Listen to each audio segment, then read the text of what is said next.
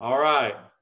So now we, we, we go to the important people of our meetup, um, Andrew and Mike. So, uh, um, Mike, since you're on mute first, don't you start? Little tell them everyone a little bit about yourself. Sure. Um, yeah, Mike Gurtovoy um, up here in the Seattle area. Um, we, um, I work for a company called JS Capital. Um, we do mortgage banking um, all over the country. and uh, we're a smaller shop. Uh, we're about 10 people total. and uh, and half half of it kind of deals with the servicing kind of aspect of it. Half of it uh, deals production. Um, about uh, 50% of what we do is life insurance business, um, where we originate and we service the debt, um, lend on behalf of these life cos um, that we've been doing that for the last 30, 40 years at shop. Um, and then the other kind of aspect of it is, you know, kind of where we, we do more brokerage um, operations, where we, you know, do a lot of debt fund deals. That's kind of where we find most of construction bridge um, and uh, those types of products, products that don't really fit into the life company buckets, or sometimes you know there's more competitive options available, um, like Fannie Freddie, uh, for example, uh, where we would fund fund that those deals for that as well. Great, and then Andrew, you want to uh, tell them about about yourself as well, and then you have a uh, you could share that document too if you want to. Sure. Why don't I throw it up on the? Uh, it says I'm I'm disabled from screen sharing. There you go. Should work. No. Uh, looks like you've disabled participant screen sharing. So, um, no big deal. I'll just uh, I'll go into it. We can circulate it after the fact. Uh, um, like it. Okay. How about now? Perfect. Uh, let's see here.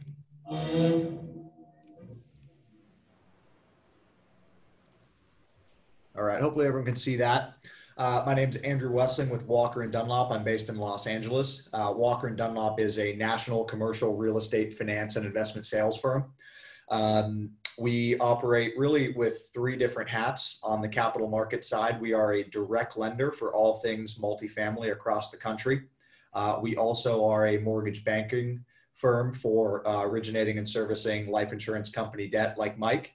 And then we, uh, the third hat we wear is similar to Mike's. We are a uh, a broker of third party uh, debt fund, bank, credit union, uh, and other sources of capital, private investors, et cetera. Um, as a company, really our wheelhouse and our bread and butter, though, is multifamily finance. As you'll see, um, in 2019, we did about 32 billion in transactions. Uh, 87% of that 32 billion was multifamily finance or investment sales.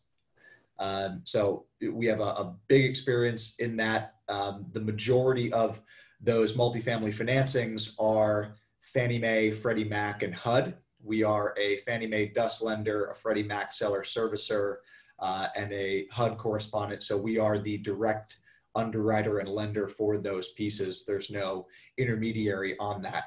Um, we have 40 offices nationwide. Uh, as of yesterday, we've opened 24 of them, with the remainder hopefully opening the rest uh, later this month. Um, our firm, we're approaching about a thousand employees, so we're fairly small compared to some of our global competitors like CBRE and JLL, and yet we have Fannie Mae's largest market share.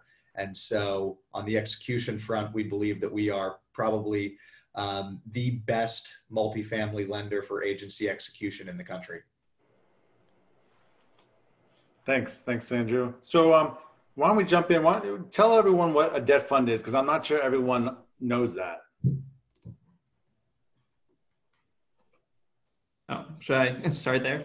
All right. Uh, so, debt fund is, um, I mean, it's a kind of a, it's a typically it's a balance sheet lender. Uh, they have uh, bucket of capital, kind of like an investment fund, um, and they invest in debt. So they um, they see their their space to be, you know, kind of kind of on the debt side, but in a lot of these kind of groups, they also invest in um, mezzanine. They'll also um, invest in uh, pref equity pieces. But um, but kind of the most um, I, I, think important thing is uh, they typically deal with uh, bridge bridge lending and construction lending. Um, you know where they don't their pricing tends to be a little bit too high for the uh, balance or sorry for the perm lending side. All right. And Andrew, why don't you explain uh, life co lending is? Because I, I, think a lot of people have heard agency debt, Fannie and Freddie, but they don't fully understand what uh, life co is. Sure.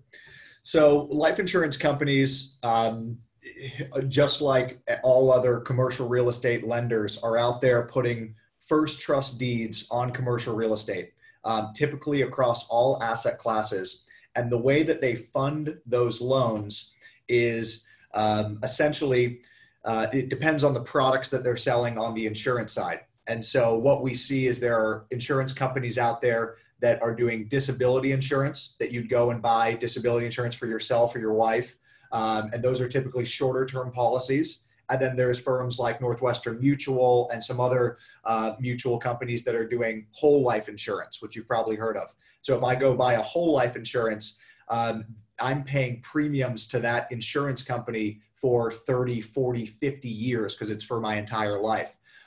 What they do is that life insurance then uh, company turns around, takes those premiums that they've come in, that they're getting from me, the consumer, and they're investing those across many different asset classes. They're buying corporate bonds, they're buying, um, you know, you name it. But one of the pieces where they'll invest is commercial real estate debt. And so typically we see life insurance companies putting maybe 20% of their investments out into commercial real estate debt and the beauty of it is, depending on uh, the, the, the asset and the, the quality, they can offer terms that commercial banks and the agency lenders like Fannie and Freddie cannot because they're typically matching their assets to their liabilities. And so if you have a whole life asset in my policy that I'm paying to the life insurance company, they can turn around and give you a 30 year fixed rate loan because they know that I'm going to be paying my policy for those 30 years. So the interesting part is their cost of capital traditionally can be very competitive on the short side, but they can also go very long term on the fixed side because they have the ability to do so where not a lot of the competition does. Great. And if anyone has questions, you know, feel free to put in the chat as we're going along. You don't need to wait to the end or anything. Uh, we want this to be as interactive as possible. I see that Greg has a question here. Um, is mezzanine debt like bridge loans uh, slash shorter term loans? Um, well, not so it, it can be, but typically mezzanine debt is secured by the equity interest uh, rather than the um, than the uh, the deed. So, and, and when I say that, what that means is that um, for example, if um, you know things go wrong, um, and as a property owner, uh, as a sponsor, not able to make payments, um, the the perm lender it would be the one that's getting their um, the senior lender is the one that's going to be getting the payments first. Um, and if this if the mezzanine lender forecloses, the mezzanine lender uh, becomes the the uh, the new sponsor. So they effectively they take over your equity interest and they become the borrower. Um, and then and then that's that's the difference. Um, so usually um, the yeah, the rates are higher because they have a little bit more risk uh, in the deal because um, you know let's say you know uh, you you have a 50% uh, loan to value loan um, and you you know you have a mezzanine position that get takes you up to 80 um, if the property value, let's say, goes down to 50% for any, you know, for any reason, um, you know, the mezzanine piece is the one that would get wiped out, while the senior piece uh, lender would not feel anything.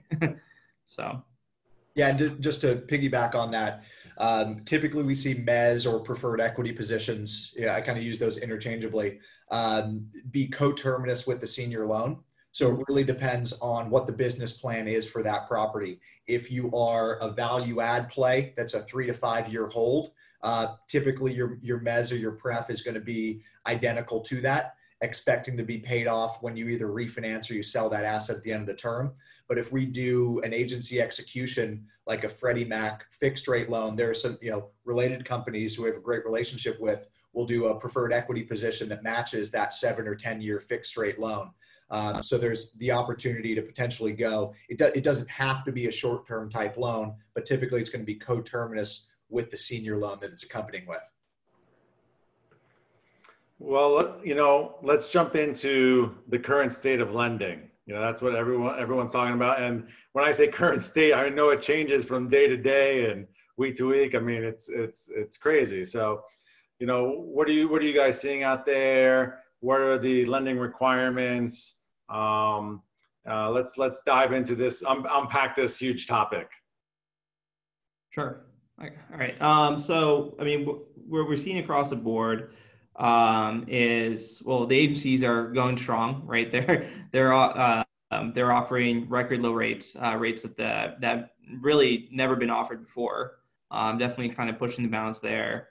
Um, in in the life company side, um, rates are coming down. They're starting to approach kind of where they were pre-COVID, but uh, life insurance uh, companies tend to be a little bit more um, conservative uh, in terms of lending. So they're you know they're trying to trying not to go too far low, and plus they they have competing factors with the um, corporate bond market.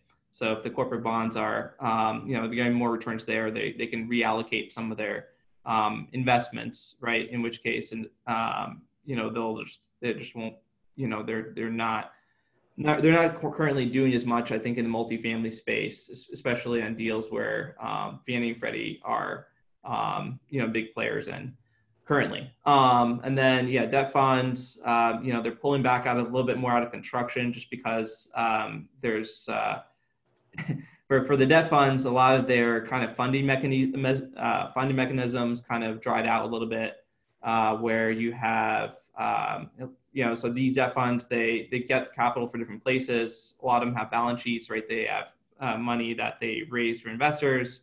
Um, some of it, some of it they leverage through warehouse lines, which is a loan on kind of their their whole book uh, that they'll lend out, um, and then some of them they have you know more bigger shops like Colony. They'll have repo operations where they you know they put up some assets and are able to get some liquidity there, which they could in turn lend out, and then um, some have you know use CLOs. Um, which is kind of like CMBS, but they could tranche out some of their their pools but anyway, um, the you know the the matter is uh, repos they're affected by mark to markets. Um, so you know they there are uh, lenders that have been using that to, um, to to have more liquidity in their balance sheet. They are not doing that as well. Um, they don't have as much money to lend out. Um, CLOs are shut down um, at, at, the moment. Uh, not nothing's no CLOs are getting issued. So there's that kind of source gets dry. Warehouse lines, uh, a lot of these bigger banks that kind of offer them, life insurance companies, got a little bit more conservative, so they pull back. So what you kind of end up having is, um, you know, the, so a lot more balance sheet guys, which traditionally were a little bit more expensive because they couldn't have, they didn't, they didn't use, utilize a cheaper uh, source of capital. They are um, they're doing a lot more bridge lending now just because they're able to chase after deals which they uh, weren't able to do so prior to um, prior to this uh, prior to covid-19 um, cmbs uh, cmbs is uh, is currently coming back uh, the pricing is coming down it seems like every every week um, it's hard to predict just because it's the most volatile of all kind of uh, lending uh, lenders. And so right now they're uh, they're not really quoting a spread, and you can't really lock the rate. So you're uh, essentially going through a process not knowing what's gonna what you're where you're gonna end up with at the end of the day. Right? It could be anything. Mike, um, tell the group what the difference between agency debt and CMBS is, just for the people that don't know. Oh, uh, wait, so, sorry, repeat that. CMBS and what? Uh, agency. Oh, agency. Yeah. So CMBS. I mean, so there is, you know, actually there's, you know, agency CMBS as well, but CMBS uh, typically um, it's uh, and a lot of these groups that do it, you know, they'll be like the Barclays, uh, you know, kind of Bank of America's the world. Uh, what they do is they make these loans. Uh, they're called uh, syndicate loans, where they um, they make them, they sell into a pool, and then they the pool issues bonds to different investors um, you know, ranging from AAA to um, to effectively junk bonds, right? And the aggregate of it um, is the um, kind of the break even rate, which is what, uh, and then the, and, and effectively what you get as a borrower is a break even rate plus whatever um, costs were incurred by the uh, and profitability of the uh, issuer. Thanks, uh, thanks, Mike. And Andrew, are you seeing anything differently? And what are the lending requirements? I know they've they've softened uh, the you know that a little bit of late. Yeah, you know, I'm just looking at the chat. You know, someone's asking if there's sort of a short document about the types of loans. So I'm going to share my screen again just so you have this. I want to note though this this was I put this together pre-COVID, so there are some pieces in here um, that may not take uh, COVID into account. So I just want to make sure that's clear. We can chat about the differences and what we've seen in, in you know underwriting requirements and maybe some additional reserve requirements. But let me throw this up on the screen just so people have the benefit of it. And again, I'll I can share all this with everyone if they reach out to me after the fact. It's probably hard to see because there's a lot. These again are just Walker and Dunlop as as we consider our, ourselves a direct lender across these um, points. But again, Fannie and Freddie which are agencies, HUD, which is uh, really a, a, a, government agency, uh, Conduit, which we've actually put on hold. We, we were doing some Conduit um, over the last few years, but we've also gotten out of that business, and then the life insurance company. But um, you know, it's such a loaded question, and it's such an interesting question because, like you said, it's moving every single day. Um, I was on a panel probably two months ago, something like that, uh, talking about multifamily lending. And at the time, we were saying that CMBS was fully out of the market. Uh, there was no one in the business quoting new deals uh, on a securitized platform. And I was posed a question, and, and my thought process was I didn't think that CMBS would be back into the market quoting new deals until later this summer. I think I said July or August. So um, they're back earlier than I thought, which is encouraging. Um, and what that tells me is that commercial real estate is still an attractive place to find yield and for lenders to get yield, and that transactions are happening across the board. And even though CMBS had a blip and they were out of the market for a bit, um, I'd say otherwise, uh, the majority of lenders stayed in business and have continued to do track transactions despite uh, you know us learning now that we were going into a recession in February and uh, COVID hitting the US really hard in late March and beyond. And so let, us just talk multifamily underwriting requirements um, for fixed rate permanent debt. We can talk about floating rate value add bridge debt um, after, but let's just look at fixed rate multifamily loan programs. These are for stabilized seasoned properties that you'd be buying, call it, you know, anything five units and above that is fully leased. Um, the minimum debt service requirement ratio that you're going to find typically across the board today is a 1.25. And you can get that from um, local banks, life insurance companies, and the agencies. Um, now, as you ratchet up the debt service ratio coverage, meaning you're bringing your loan to value down and you're putting more equity into deals, the more favorable the pricing becomes. And so if you if you just look at that benchmark, typically what you'll find is a max loan to value is going to be 75%. With the agencies, some of them will go to 80%. But in major markets like Los Angeles, San Francisco, Austin, Miami, you're really not uh, regulated by the loan to value metric. It's really your debt service coverage ratio. And for all those out there, essentially what that is is it's a lender's cushion saying that every dollar of net operating income, I want 125% to $1 that I'll lend you. And so that's where we see mostly the constraint um, for a period of time. And I think even today there is um, some heartburn when it comes to taking cash out refinances. But lenders, including Fannie Mae, have been very aggressive even on cash out, really with the only stipulation that they'll want additional principal and interest reserves up front. And then they'll also take taxes and insurance and possibly some rollover reserves up front as well. And, and um, before when COVID hit, it was about 12 months. Now it's now it's down about six months, right? for the most part? So it varies, uh, which is the fun part. Um, so CMBS, just in general, conduit lending, uh, they're at six months of P&I today.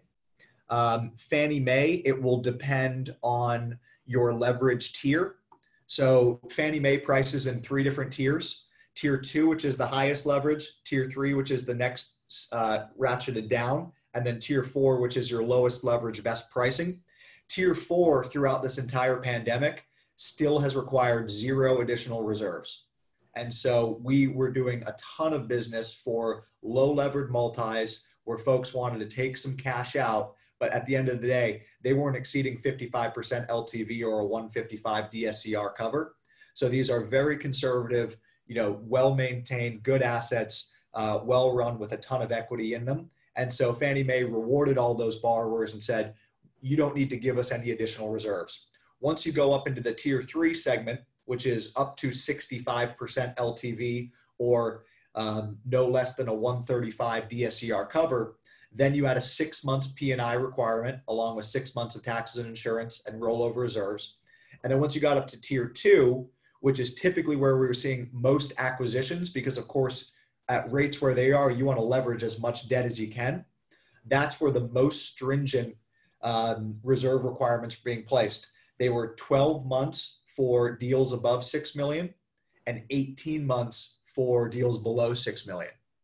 And so you can imagine on a sub $6 million loan, if you're buying a multifamily property and you have to put up 18 months of principal and interest along with 12 months of taxes and insurance and 12 months of replacement reserves, I mean, we're talking hundreds of thousands of dollars. And interestingly enough, even if you were taking cash out of an existing asset that you owned, and you wanted to get the max leverage and just take all the cash out of the property, Fannie Mae said, we'll do it up to 75% and a 125 cover, but you have to bring the cash to the table for those reserves at closing. We will not net fund it from loan proceeds. So you had to prove that you had enough dough to make the transaction happen to sort of prove it to them, which was really interesting. And what we saw then was a lot of the business that Fannie normally would capture went over to Freddie Mac because they were just less stringent on their reserve requirements. And to this day, they're still doing nine months of P&I, and that's it. Wow, 18 months. That's that's brutal. It really is. It re- what it did is it really rewarded borrowers that hadn't cashed out over the last two to three years and had built all their equity and really amortize their principal down because it gave them the flexibility to now maybe take out that cushion if they needed it. And what we really saw was, you know, acquisitions dried up through um, the end of March and really in through April as most buyers went on the sidelines. Um, and even a lot of sellers, I think, sort of went on the sidelines just to wait and see what happened.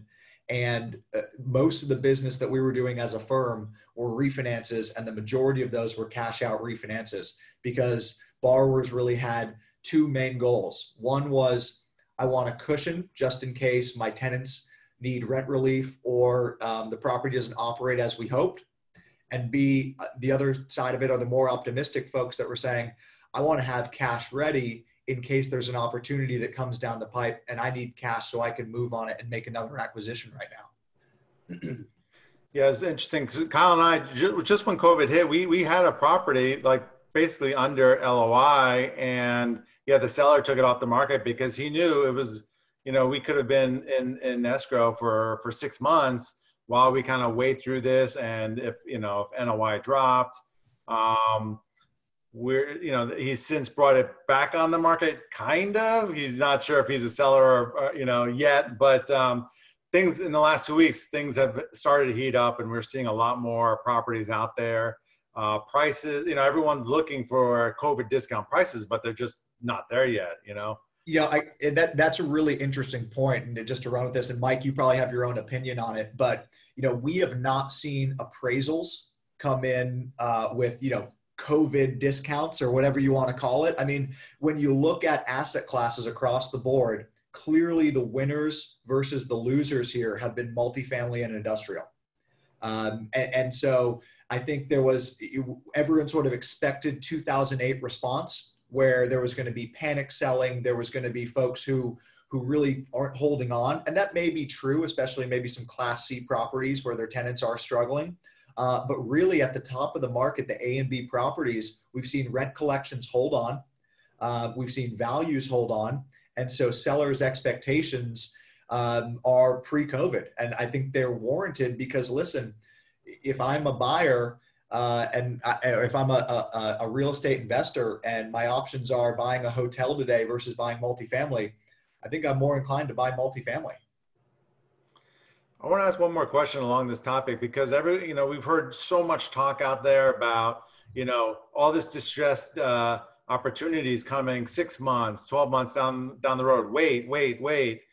Um, what are, what are your thoughts of that? Are you, are you seeing that, you know, come six months, there's going to be a whole lot, you know, flooding the market at just kind of prices or, you know, it's, it's kind of like, you know, with multifamily years ago and everyone's, you know, we're sitting on the sidelines since 2014 waiting for the crash and they lost six years of buying opportunity because they were doing that. Yeah. I mean, that's, uh, that's a tough question to answer, right? and if everyone had to answer to that question, a lot of us would be uh, very incredibly, incredibly wealthy. But um, but I think you know the answer to that question really depends on um, kind of what the government is going to be doing uh, in terms of kind of propping up the economy, subsidizing um, businesses, and you know how they're going to be able to do that uh, in order uh, to keep unemployment low. Um, and you know if people are um, unemployed, you know, kind of keeping those uh, kind of payments going so that way uh, they can make the rent payments right? Um, so that's one thing. And then the other thing it, it really depends on um, you know kind of what happens with uh, covid. You know if there is a second wave right and it does result in additional shutdowns right then our results could be a little bit different. Um, but you know if everything kind of keeps going along the way it's going on now i mean i yeah i mean i, I think this is going to be bled a blip you know and especially multifamily industrial um, you know, there's just, uh, you know, nothing really happened. Everything just kind of kept going along. And if anything, uh, demand's heated up, right? Because less people have been going to retail stores. They've, people have been going, uh, ordering things online, Amazon, and um, the industrial markets are doing phenomenal, right? And so are, and so is multifamily, you know, for that exact reason, right? Because people still need a place to live.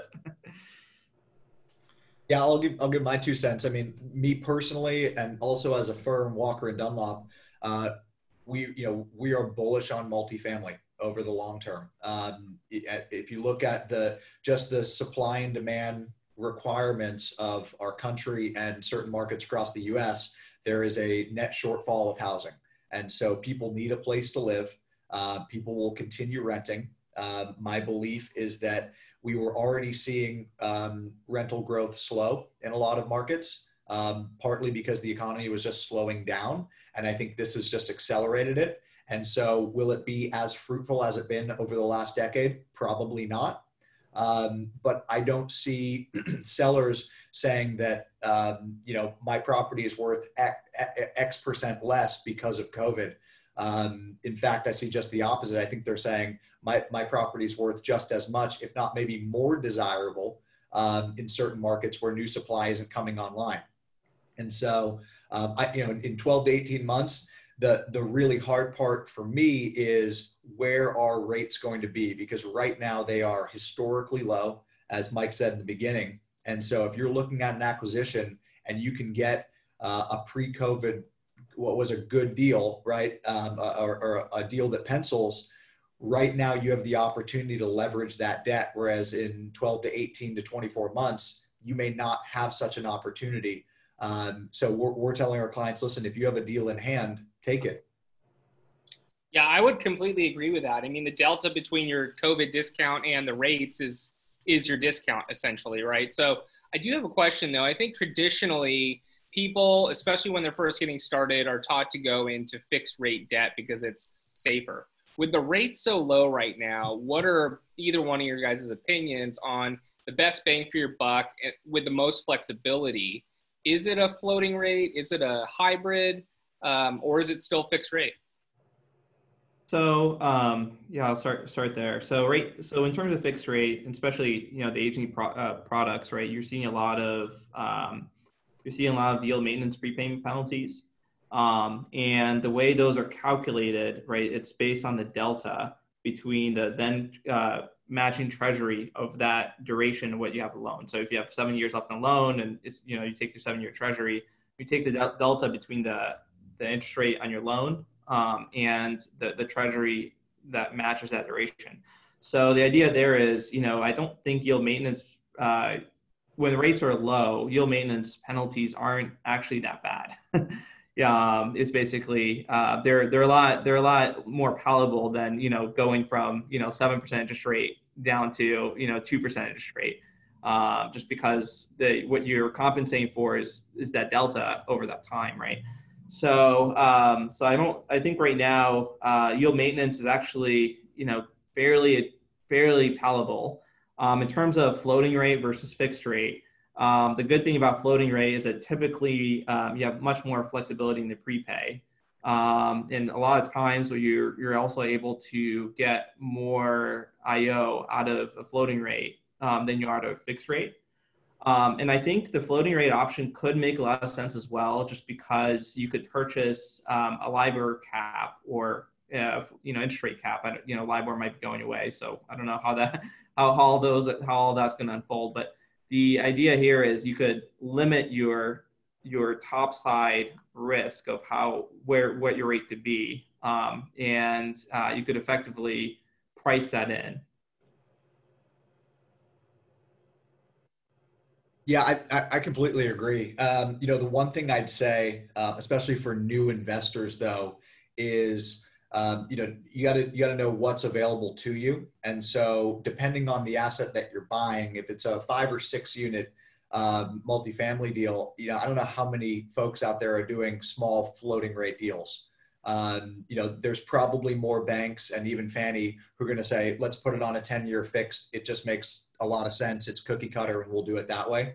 Uh, but it also depends on the business plan right? I mean is this a value add uh, and if that's the case and you're going to either refinance or sell at the end of the term, then I completely agree that a floating rate type deal makes a lot of sense because you want that flexibility once you complete your business plan to get out of it. And I know Gary, that's sort of, I think that's your model, right? Where you go in, you buy an existing B minus property, you put some money into it, you jump the rents, and then you either refinance and hold it or you sell it at a profit. Um, but for, you know, new investors, it, it's hard for me to say, you know, that's a great model for you because that's a lot of risk. Um, and so that's why I think if I'm if I'm giving a recommendation to a new investor who's looking really to start out um, and is looking to to get their feet wet, it's probably buy a stabilized property that you can probably fix up a little bit over time. Uh, but but based on where rates are today, I'd say you're better off taking a fixed rate deal and just locking it in to protect yourself.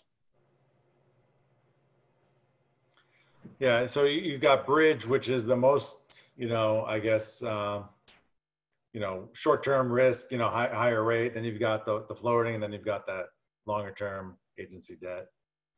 And uh, and and maybe I'll just I'll caveat one point. You know, we have very sophisticated institutional clients who are taking floating rate debt right now. They're taking seven-year floating rate debt from Fannie and Freddie and from life insurance companies and other debt funds because they're bullish on where rates are going to be based on how dovish the Fed has been and how they're saying, listen, where the economy is, rates aren't going anywhere. And so I'm not worried about the volatility or rates going up. I'm willing to take it. And like Mike said, I can get interest only. Maybe I can get a little bit better underwriting, less reserve, something like that, It's going to boost my loan proceeds, either put more cash in my pocket day one or put more cash flow in my pocket over the term.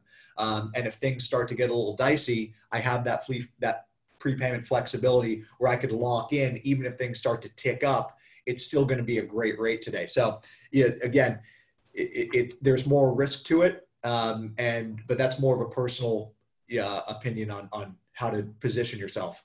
Is it really more risk if you're able to buy a cap? And from what I've heard, caps are pretty inexpensive right now with the way the rates are.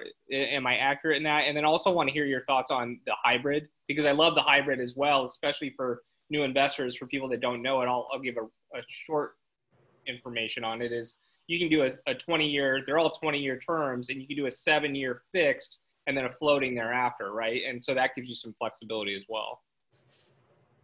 Yeah, and, and and so that was a little bit to my point exactly, um, Kyle. Is is the risk becomes typically on the floaters they're bullet loans, And so you have to pay off at the end of the term, no matter where you're at. Whereas a hybrid type product and um, a lot of the local banks, specifically in the, the LA and Orange County markets, and even down through Phoenix now, um, almost every loan product that they offer is a hybrid.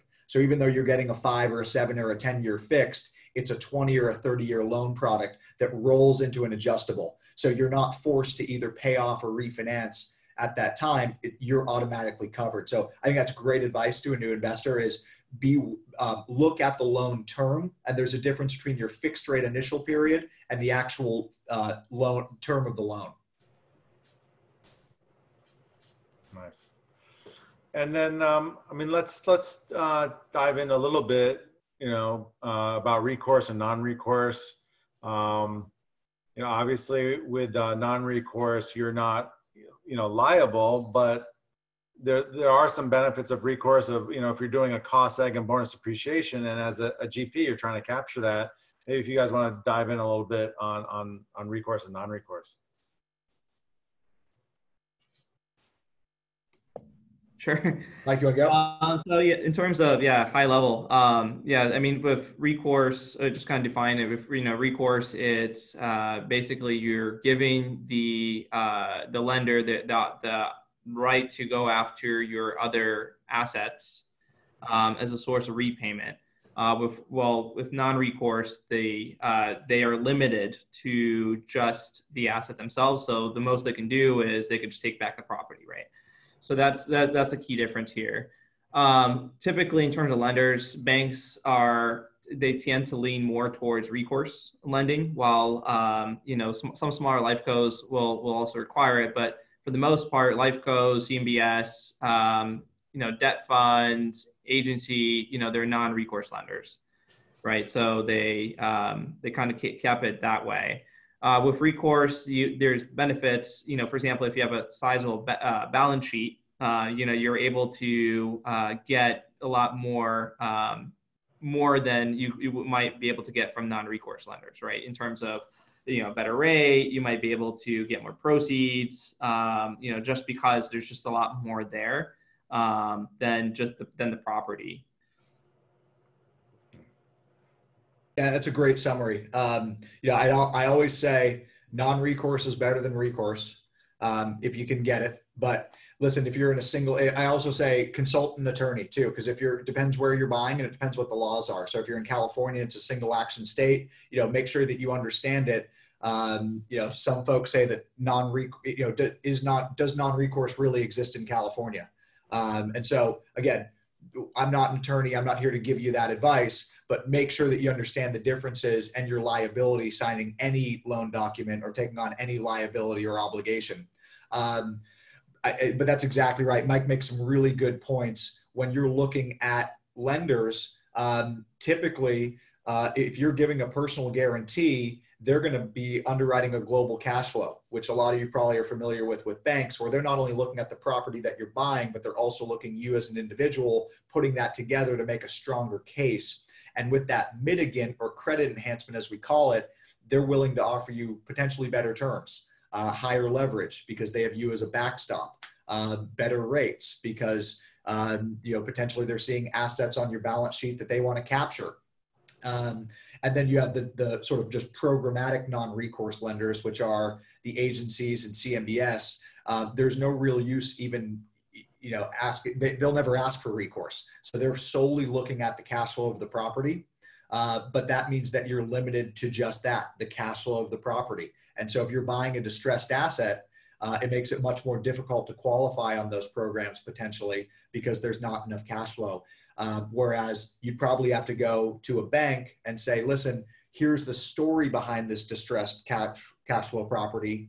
Here's my balance sheet that I'm willing to put behind it that I'm signing uh, personal guarantee on, and they'll they'll take that chance and they'll roll with you on a, on a project like that, which is you know I'm willing to put the time in, put some money into it to make this take it from distressed to non-distressed. At which point um, I think you've earned the right then maybe to ask for a non-recourse loan once you've gotten it stabilized.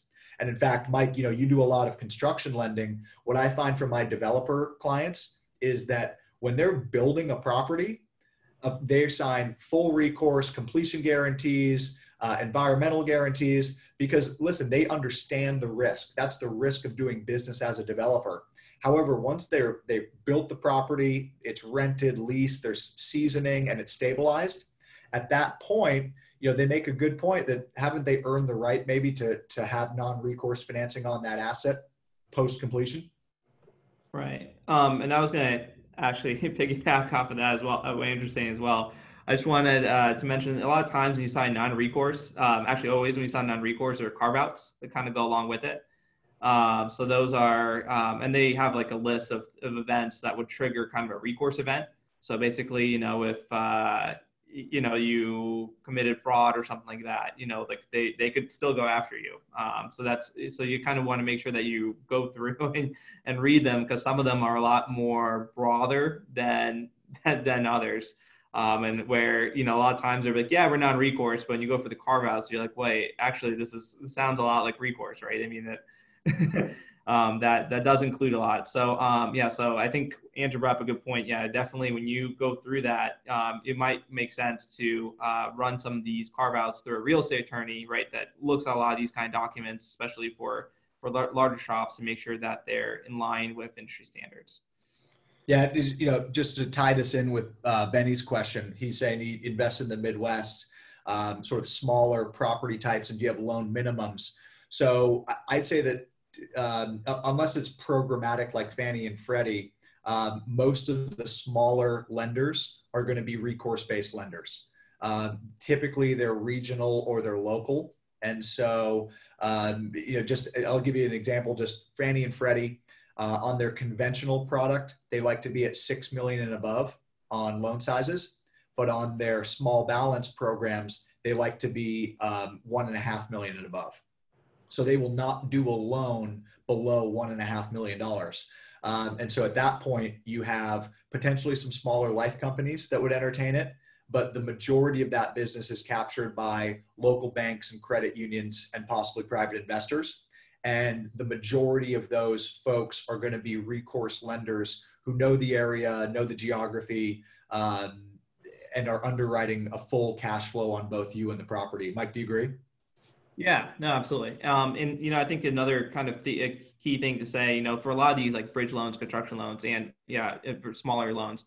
I mean, smaller loans, I think a lot of it is because of the players that kind of play in that space. But um, for the construction and bridge side of things, you guys, you know, kind of looking at it from the lender side uh, perspective is, you know, if they take, you know, the, that property back, there's no cash flow and there's no kind of means to get that cash flow, right? If you're talking about half completed building, you know, there's there's not there's there's not much they could do with it, right? Um, if they took it back. Um, that's why they want to see that recourse, just because then they could they can capture back a, um, some a lot more of the losses than than they would be otherwise. But while, when you have a stabilized property, then you know if you have a you know 50 unit apartment building, well, you know you have 50 units that you could just run out. Um, so at the end of the day, you're going to get cash flow regardless, and you know it's a much different kind of proposition. So that's why, um, yeah, a lot of uh, the perm products, uh, especially long-term stuff, it's it typically um, hinges more towards non-recourse um, than it does recourse.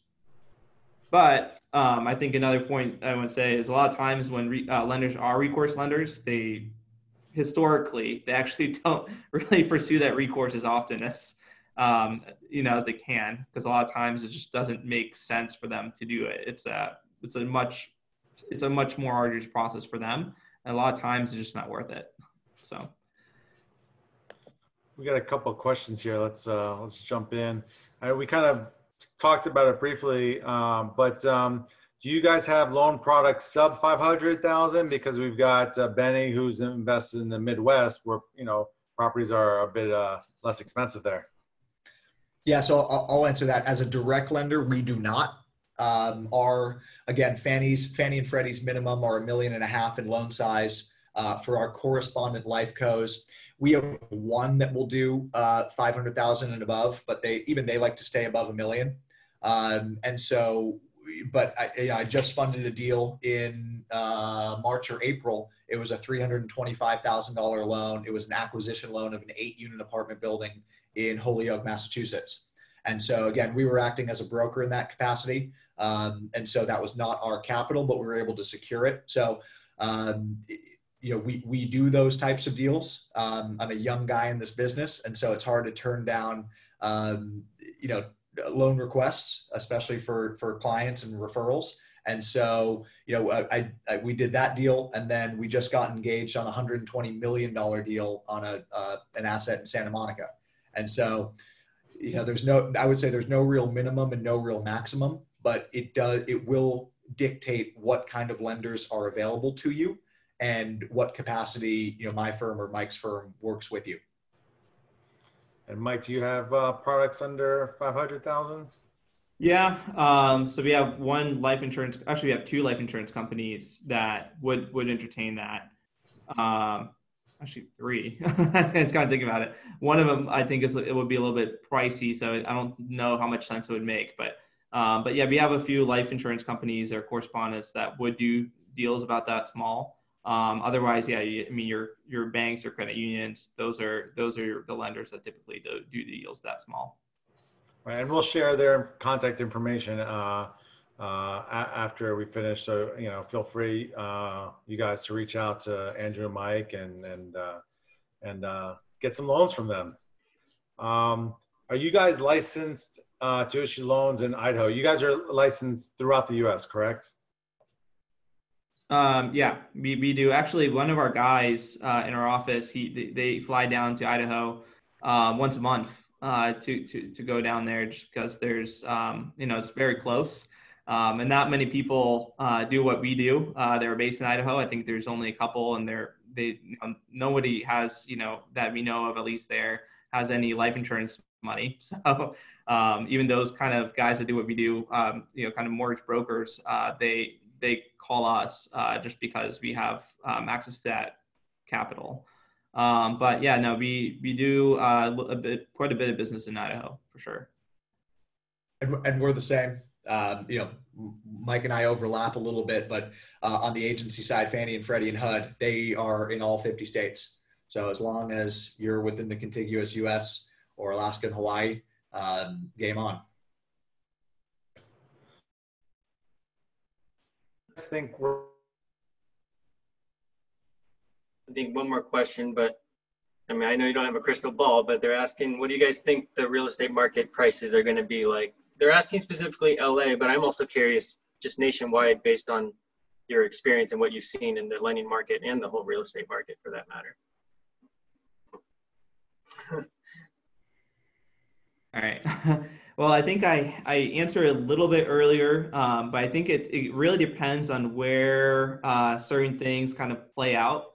Um, you know, I think, uh, you know, markets where, I mean, I think in particular, if you're thinking about multifamily, I think markets where you have a very stable kind of employment base, kind of, I mean, here I, I think is a good example, like where I live in Bellevue, right? You have Amazon that's bringing in 10,000 jobs, you know, right in, a, in like a six block uh, neighborhood. Um, and they are you know that that's a very solid kind of driver right? So that's that's a driver that's not impacted by covid as much. That that is um, company that's seeing record high prices uh, for their stocks. So um, it's a company that's growing. Um, so you know for example do a, no matter what kind of the situation happens i think you know that multifamily market um, you know in bellevue for example it's, it's going to be absolutely fine right because you have so many um, solid, you know, employers that that aren't impacted by COVID. Um, but that being said, I mean, it really depends. I mean, if you kind of keep going at this pace, um, which I think generally, I think the market scene is positive, right? Stock market scene is positive.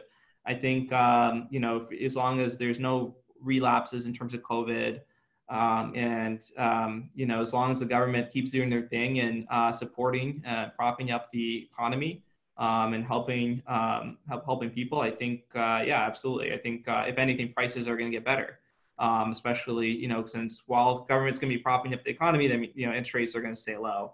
So um, I think you know you're going to investors are going to see a lot of value come from from the debt side. Yeah, my take is, um, I guess I'll talk to LA and, and also more generally. Um, you know, similar to Mike and, similar how I invest um, with my wife and I just personally is we follow job growth and employment growth because that typically dictates population growth uh, and where people need to live. and then I just keep my tabs on new supply to make sure that a market's not being over um, overflowing with with new product coming online. So there's still a, just a fundamental supply and demand. Um, from a fundamental supply and demand side, Los Angeles is underhoused, um, and we continue to need more multifamily housing. So I think it's a good asset class. I think people will continue to invest in it here. Um, that said, I think rent growth was already slowing, and I think over the next 12 to 24 months, we'll see it continue to slow um, as people just deal with COVID and job loss and other pieces. And so, if rental growth slows, um, we all know expenses don't go down. And so, your NOI will slowly erode. And if your NOI is lower than it was last year, even if you're at the same cap rate, values technically are going to be slightly lower. Is it going to be a drop and a precipitous drop? In my opinion, absolutely not in strong markets. Um, however, you know, you, you will be, I think you will see um, winners and losers dictated by economies of scale. Um, and I think you'll see larger companies thrive and continue to do well and, and gobble up assets. But I think the folks that are going to be hurt by this whole pandemic and the unemployment, and depending on the length of the recession, are the mom and pop owners where they're just going to be squeezed and can't hold on to a certain property or something like that. So I don't think it's going to be systematic, uh, but I think there will be places and opportunities, even in strong markets, where you can find uh, potentially opportunities to invest in, in good assets, good locations, just because uh, of being opportunistic and having your finger on the trigger. Yeah, I totally agree. Um, we have a question. Are tertiary markets being considered by lenders? Of course they are. Obviously, the loan terms change. You know, they're a lot stricter. Why don't you guys talk a little bit about that? Because we, you know, when we invest in Tucson, obviously our uh, loan to value is less, maybe the rate's a little higher. But uh, you guys speak to that, please. Sure. Um, I'll actually, Andrew, I'll let you be the first one for, to answer this one. Sure. Um, yeah. I, so the short answer is yes. Um, Post COVID, I think there's just more scrutiny on smaller markets in general. Um, you know, I can speak from the agency side though. Freddie is mission driven to put uh, debt out to support affordable housing nationwide in every community. And so, uh, depending on how they're feeling, if they're feeling mission critical, we see them be more aggressive in smaller markets. And if they're uh, not so much feeling it, sometimes they pull back. But in general, it's available. But what we see is they actually rank their markets. Um, and then as a servicer and originator on their behalf, we also rank the markets. And Freddie has an interesting way of doing it. They call it sort of a top market, um, a standard market, and then a, a, a low or small market. And so, depending on the ranking of the market, it will dictate how aggressive they will be in their loan terms. Um, Fannie does the same thing, they just don't really advertise it. Um, and again, it, it's the same mechanism as you move out away from more primary markets into more rural communities, you'll find that your loan to values effectively go down um, and your debt service coverage ratios effectively go up, meaning that if you're acquiring property in tertiary markets, you will need to bring more equity to the table. The good part is the prices should be cheaper than in the primary markets. And so hopefully, you know, you'll be able to buy, you know, property twice as large in a tertiary market as you do in a primary market. Right. And then, uh, okay. So, um, and then I think the other kind of thing is uh, for tertiary markets, um, it's important to kind of consider other lenders, right? Because if for very core kind of product, right, at the at least at the moment, um, I think that obviously this changes. I mean, if, if you look back, you know, six six months ago, or I mean, 18 months ago, for example, right, Fannie and Freddie was not um, in the core in the core markets wasn't as competitive um, as you know life insurance, and I think they were starting to lose out CMBS as well, um, just because they um, they filled up their book a little too quickly for the year, right? So they had to kind of pull back a little bit. But um, so I mean the the I mean kind of the the markets are pretty fluid in general, but um, yeah, for tertiary markets, the benefit there is you have better cash flow, right? So LTV does start playing uh, more of a role than debt service coverage ratio uh, constraints. um, just because you're getting that sl- slightly higher cap rate. So, and because of that, um, yeah, I think, uh, for example, um, you know, we have a couple life insurance companies. That's a lot of what they do is just uh, make uh, multifamily loans in tertiary markets, um, and they do really well. So. And Andy, you mentioned, you know, uh, Freddie wants to do a lot of affordable housing. So do they still have the waiver there for affordable housing? And what what's the qualifier for that? So they both both Fannie and Freddie have uh, pricing discounts based on affordability. Uh, they price deals, um, and and the wa- the waiver is a, a sliding scale, and it depends on the percentage of the asset whose tenants fall below uh, 80%, 60%, et cetera, of um, uh, AMI, which is the average median income for where the asset is. And so, absolutely. Uh, what we saw in the last few years was they also had a green initiative where if you were buying a property and installing low flow toilets and um, light light fixtures that are LED, you could also get a discount. And they basically eliminated that. And so, really, the only way for to gain pricing discounts, so to speak, would be to buy more in more affordable areas in places that um, are serving affluent areas but offering lower rents for compared to the market. Yeah, our, our last two loans, we did the green uh, program, and then we also got an affordability waiver as well, um, uh, which which was great. You know, really brought down our rate. Um, what other questions? Because we're right, winding down here before we go into the uh, breakout room. So if you guys have a question, put it out there right now. Yeah, it looks like we have a couple more. So one of them uh, might be outside the scope of this discussion, but um, where do you go to find five plus unit buildings other than LoopNet and CityFeet? You, you guys probably know better than we do, but I would say local brokers. They are your best friends, and especially the ones that are, you know, I think of Matthews here in Los Angeles. I think of Buckingham Investments here in LA. Um, you know, it's it's the folks that are. I mean, these guys are pounding the pavement. They are literally knocking on doors of people that own apartment buildings, saying, "Do you want to sell at a five cap? Because I can give that to you." And they're getting calls back, and those are the people that you should be hounding uh, to get deals because hopefully um, they have a couple in their pocket.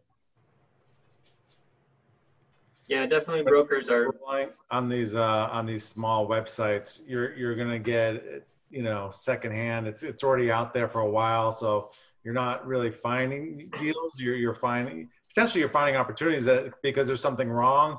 And so sometimes those are the best deals to get. It's something that's been sitting for a while, and so maybe there's there's room for negotiation, and you you're able to fix that problem. But but uh, you've you've got to have those broker relationships.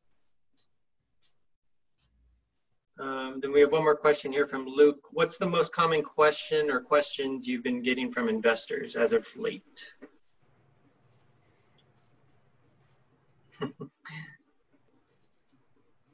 um, I mean, a lot of these, uh, I mean, a lot of the questions we got, we've been receiving have been pretty general. Um, you know, they've been kind of what's going on. You know, it's and I think that's that's the most important kind of question that you know to ask is just because you know I think a lot of I mean, lot, for example, a month ago, yeah, CMBS was out. Now CMBS is pulling deals, right? Um, and uh, you know, a lot of life com- companies are in um, now that weren't in there before. Um, you know, the reserve requirements change all the time, right? So I think that's there's a lot of the questions we've we've been asked have been just kind of very general um, less so specific. But um, that actually does bring me up to a good point. I recently did a piece about a couple weeks ago uh, where I discussed kind of the uh, the state of the general lending market, uh, where I discussed kind of where different lenders are um, and kind of what challenges and what kind of considerations that they're facing. Um, so I, will be happy to um, you know kind of dis- distribute that if if anyone's interested in reading. Yeah, I'd say um, the, the the big questions I get are, um, can, can, I still buy a place today? Can I can I do an acquisition and feel confident? And I'd say absolutely. From the debt side, um, yes, but there are maybe uh, additional restrictions or reserves that need to be underwritten into your business plan, uh, and also maybe with a caveat to that is make sure that you're negotiating your PSA and putting in additional extensions because things are taking longer, inspections are delayed, uh, it's hard to get in to see properties. So that's that's been a big one for us. And the other question is, can I take cash out of my property? Um, because you know a lot of even banks just sort of stopped lending for a little bit, and so I think local relationships when they called their banker uh, and they said, you know, I'm sorry, but we're just kind of on hold for the time being. It it created a little bit of panic, uh, but the answer is absolutely. Um, you can still do cash out refinances um, and put some money back in your pocket today. Those are probably the two biggest. Nice. Robbie, any other questions? I see there's one question there um, from Brian Moss. I have been, uh, I have seen properties that stabilize physical vacancies but high economic vacancies. Um, how, how do we handle this? How do lenders see this? Uh, for and to answer that, uh, it's effectively uh, they look at it as a core plus or bridge transaction uh, for the most part.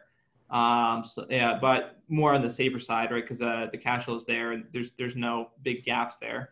Um, so you you know they get slightly better terms for that, but um, but there's different ways to solve the problems, right? I mean, one way, um, you know, one one lender I've been talking to recently, they'll they have been doing a lot of earnouts where they do um, they'll fund uh, some, up to 75 percent, 120 debt service coverage ratio um, on the acquisition and then uh, within the time period, usually a year or two, uh, it's usually set. What they'll do is they will uh, have um, kind of levels, thresholds for uh, for the bar to hit.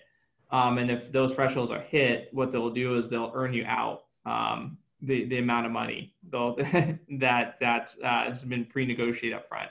So um, so that so that's one way to kind of solve that problem. Yeah, Mike, that's exactly right. And uh, what I what I think this question might be referring to probably relates to local county and state ordinances, possibly with uh, rent control, because um, it's pretty rare to see. You know, if you filled up an entire place, um, but you have high economic vacancy, it's probably because you have below market rents.